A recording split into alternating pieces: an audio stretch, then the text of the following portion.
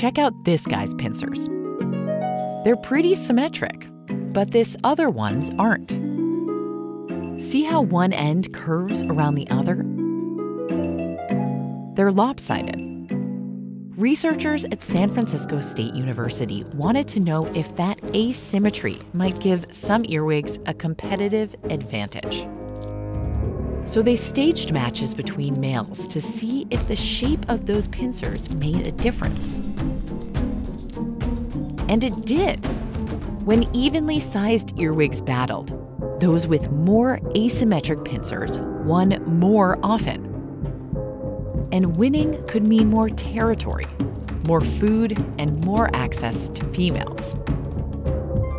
Scientists at Villanova University wanted to know if that asymmetry came at a cost.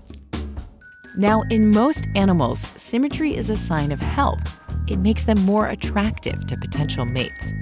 That's why it's pretty rare to find asymmetry in nature. But earwigs aren't so superficial. The asymmetry that helps the males fight doesn't make them less attractive to mates. Turns out females don't care if a guy's pincers might be a little crooked.